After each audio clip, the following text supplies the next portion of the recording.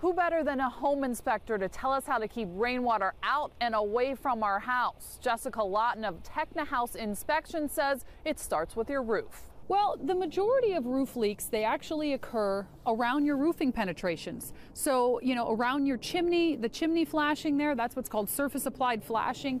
That relies heavily upon a bead of caulk right where the brick touches the metal.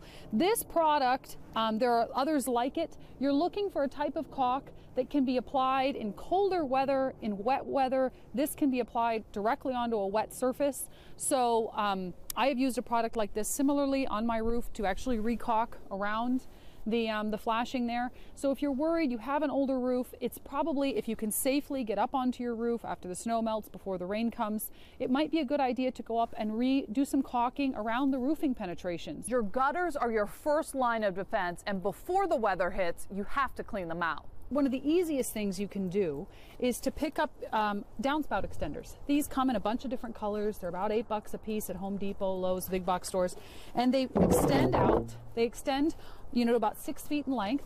What you do is you're going to hook this on to the bottom of your gutter and you're just going to extend this out into your yard to move all the water as far away from the house as possible. All right. Okay. Um, the next thing you want to do is you always want to use a splash block. This is what's called a splash block.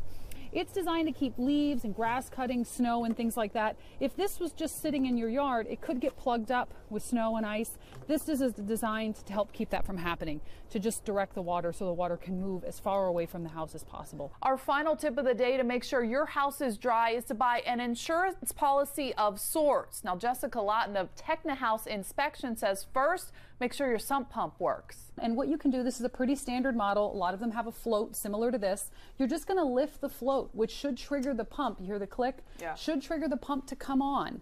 And you should hear it run. It'll pump that water out and away and outside your house. So first things first, make sure it's working. This is your primary pump. This is your insurance policy. This is your insurance policy. This is a pretty inexpensive model. This is a battery powered backup pump. So in the event that your primary pump fails, the only way you're going to find that out is now you have a basement full of water. So what you do is you set up a backup powered pump. This pump, this system comes with a smaller pump. This is a smaller pump that you will set at a higher level inside of your sump pump and it will only kick on if your primary pump fails. So in the event of a power outage or this pump simply stops working.